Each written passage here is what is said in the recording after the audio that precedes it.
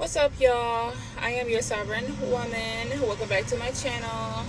So, in light of this whole Keke Palmer situation, everybody's been giving their, uh, putting their two cents in and giving their, um, their opinions on the whole situation, the red flags, and who's the victim, and who should have known better, and all this other bullshit, right? Um, I believed Keke Palmer the very first moment she's ever said anything. I've never known her to be a liar in the 20 some years that she's been in this business. Um, so let's just get that out the way. To give what I have noticed and seen over the years, especially growing up, the possible signs that a man is going to be abusive. Um, I've compiled these thoughts off the top of my head because I've seen this type of stuff growing up. And I've been around men all my life. I've sort of kind of studied them to some degree.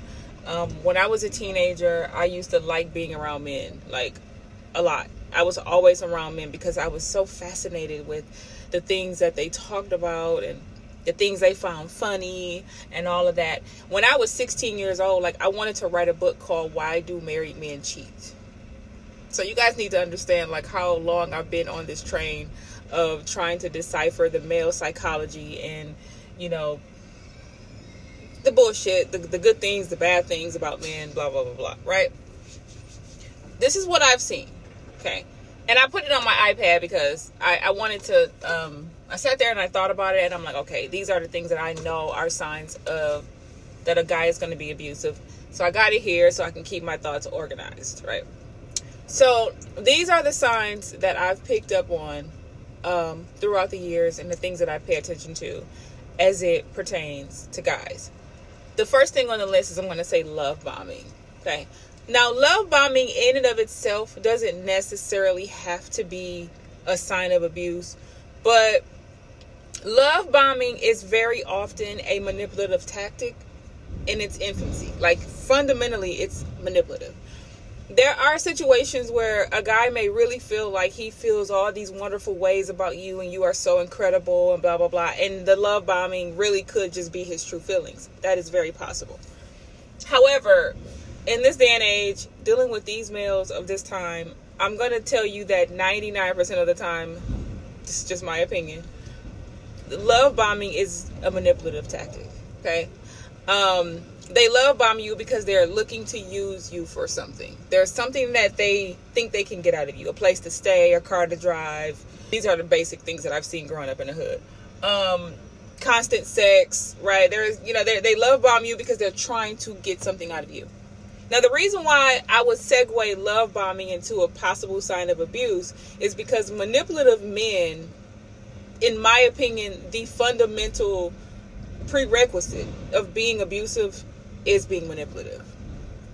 So if they love bombed you and made you think they were all in love for a place to stay, for an example, and then some things happen and you say you got to get out, a lot of times that is when women are either beaten or hit for the first time, verbally attacked for the first time, or maybe even unalived because he love bombed you to get into your house uh, or to use your car or whatever, and then something happens, you want to cut him off, you want to put him out, you want to tell him he can't drive the car no more or whatever, and then next thing you know, he's going oops upside your head. So I just say it's not ne- it's more of a yellow flag than I would say a red flag for love bombing, but it can very easily segue into abuse, and I just want you guys to just kind of think about that. Um, if they are jealous and possessive huge red flag. Um, especially early on in the love bombing stage or the uh, so-called honeymoon stage. The jealousy and possessiveness. The more you have sex with them, the more you have a you have babies with them, y'all live together, and all this other stuff. The more access you give to this man, the more he's gonna feel like you're his property. Especially if you get married, especially if you have a baby, they will just start being very possessive and jealous. And this is the sign that we all saw with Darius and Keke when she wore that dress to Usher's concert or whatever. Now, I think a lot of us saw this. I know for a fact I did. My first thought was, he's jealous. It doesn't get better from here. That's that was my first thought. I, I didn't know that the abuse was going on. I didn't know what was. I didn't know. But I've been in situations where guys were jealous about clothes that I was wearing. And rather than hit me, they would like punch a hole in the wall and stuff like that. And I always knew to get out. Um, I know to get out uh, if, if a guy calls me out my name, which I'm going to get into that next. Because if they're jealous, if they're possessive, and if they're calling you out your name, I can almost assure you that a punch to the face or a kick in the ribs or a choke slam or whatever is right around the corner. Abuse always starts out verbally, um, uh, emotionally, mentally, things like that before it graduates to physically most of the time. The vast majority of the time, it starts out that way. And if you keep forgiving men after they call you out your name, which is the next thing, name calling. Oh, well, fuck you then, bitch. Oh, skeezer, you this, you that, you from the streets. I use skeezer because I was from back in the day, but that's what my dad used to call everybody. but um, the the name calling. Like I was in a relationship with with a guy, the same person, and he called me a bitch for the first time. And in that moment, we were together for about four years at the going on four years at this time. And in that moment, I knew I had to break up with him because he called me a bitch. And people were like, "You're really gonna break up with him because he called you a bitch?" Sometimes these things happen. People say stuff that they don't mean. Blah blah blah blah. He was just upset.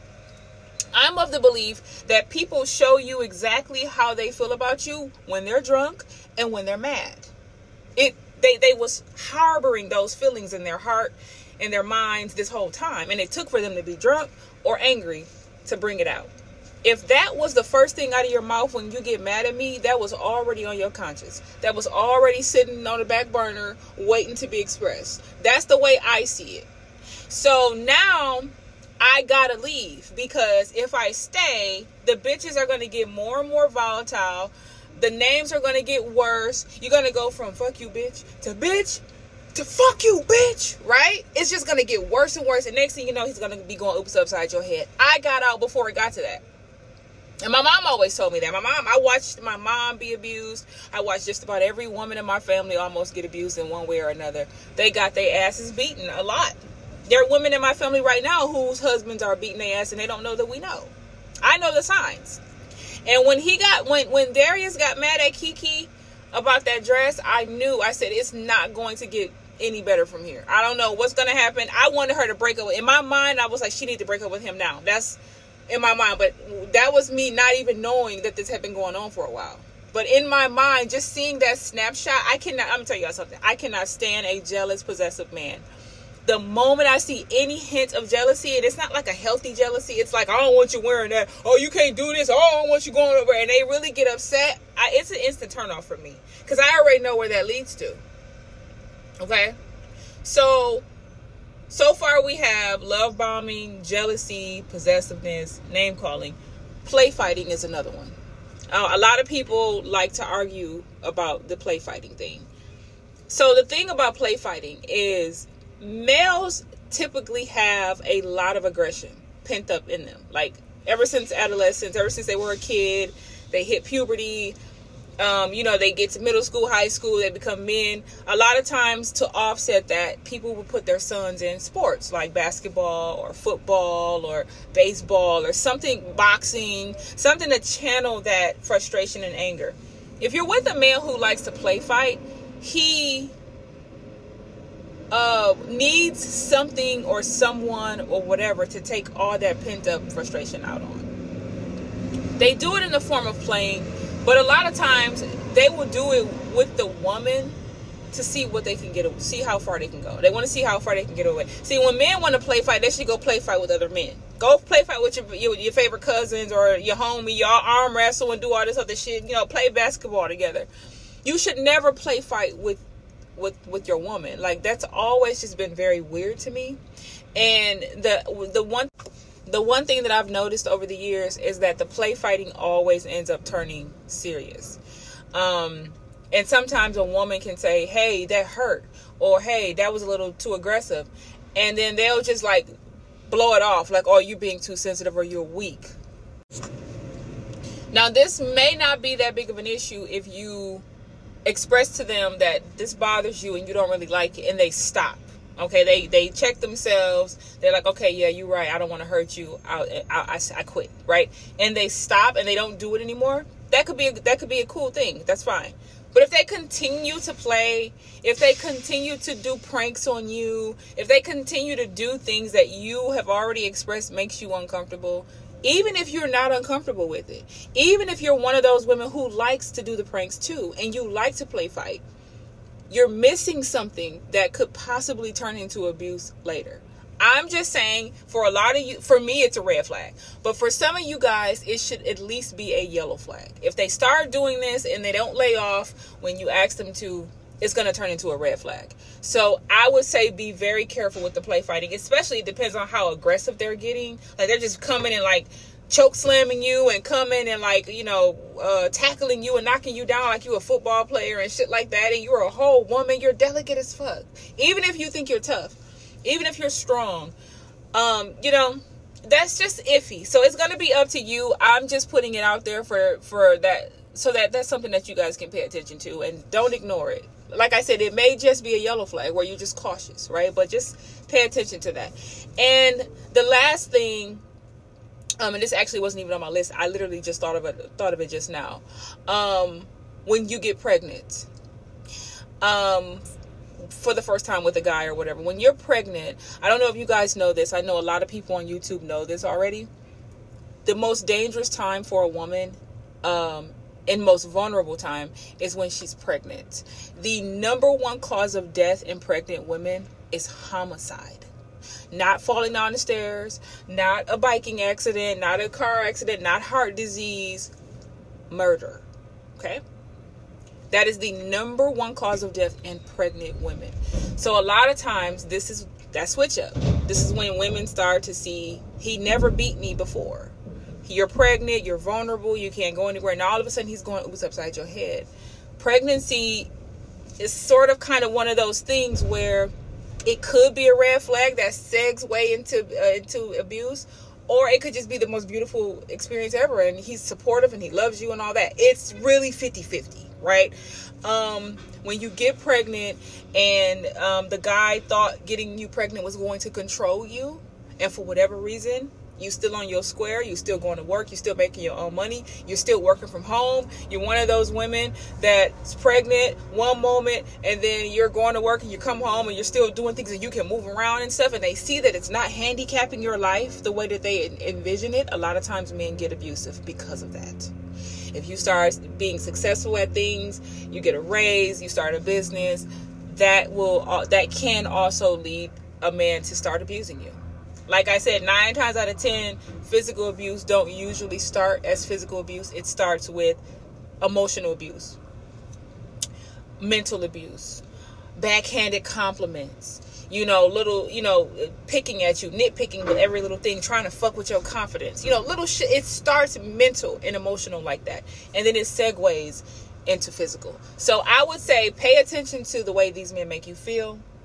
Pay attention to your gut intuition pay attention to if they are possessive, jealous, if they're love bombing, if when you get pregnant, if they start calling you names. Pay a, the play play play pay attention to all of that. For some of y'all, like I said, it might not be a red flag, but it should at least be a yellow flag. Get out of these situations. I'm trying to tell you, people thought I was tripping when I said I left my ex because he called me a bitch. They're like, "Girl, really? Y'all was together for four years?" Blah blah blah. And I'm like,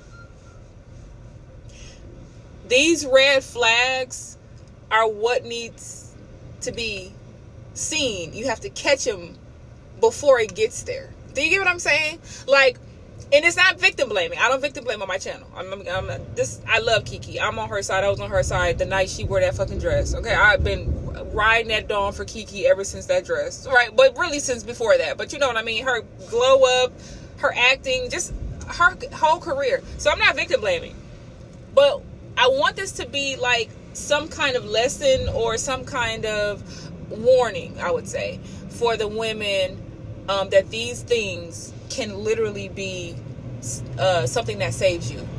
you can avoid some of this stuff. Now, I'm not saying she did avoid it or she couldn't avoid it or maybe she wasn't paying attention. She loved that man. She thought that man was fine as hell. She wanted him to have her baby. She argued with Steve about um, how she want her regular guy. She, you know, regular smuggler dude. She don't want no Hollywood dude because they crazy or whatever she was saying. She has every right to feel that way. But, you know, sometimes you don't see the red flags. Some the things that I'm mentioning, some people are going to see this and be like, I never would have thought of that. Now it makes sense, and that's what I, I just want to awaken something in you guys. I want uh, there to be some sort of uh, awakening moment or aha moment. Like just open your eyes and just pay attention. That's it, right? I'm not an expert on this, but I do know uh, the potential abusive type men when I see one. I'm just telling you that from from ten miles away. I'm like, nah. Mm-mm. I see him say certain things, and I'm like, nah, nah, I don't like him. You know what I mean? These guys will find a way to try to ruin your life just because you don't want to fuck with them no more, or because they can't control you, or whatever. Pay attention to this stuff. Um, if I think of some more uh, potential signs, I'll do another part, like a part two or whatever, to this video. But that's all for now. Leave your comments below. Let me know what you think, and I'll catch y'all in the next video.